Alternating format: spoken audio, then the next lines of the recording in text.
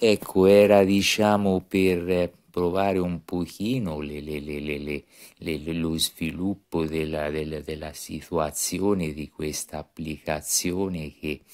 che poi ti permette di, di andare ad, ad aggredire le, situazioni dei cinque terzi.